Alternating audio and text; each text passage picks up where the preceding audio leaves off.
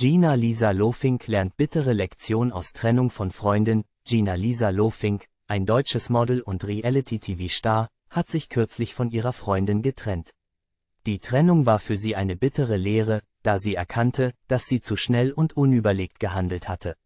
Lofink gab zu, dass sie in der Beziehung zu impulsiv und ungeduldig war, was letztendlich zu Konflikten und Missverständnissen führte. Sie erkannte, dass sie mehr Geduld und Verständnis für ihren Partner haben sollte und dass sie in Zukunft langsamer und überlegter handeln muss, um eine gesunde Beziehung aufzubauen. Die Trennung von ihrer Freundin war für Lofink eine schmerzhafte Erfahrung, aber sie sieht sie auch als Chance, aus ihren Fehlern zu lernen und persönlich zu wachsen. Sie ist entschlossen, die Lehren aus dieser Beziehung mitzunehmen und in Zukunft eine bessere Partnerin zu sein. Insgesamt zeigt die Geschichte von Gina Lisa Lofink, dass Trennungen zwar schmerzhaft sein können, aber auch eine Gelegenheit bieten, sich selbst zu reflektieren und persönlich zu wachsen. Es ist wichtig, aus den Fehlern der Vergangenheit zu lernen und sie als Chance zu sehen, sich weiterzuentwickeln und in Zukunft bessere Entscheidungen zu treffen.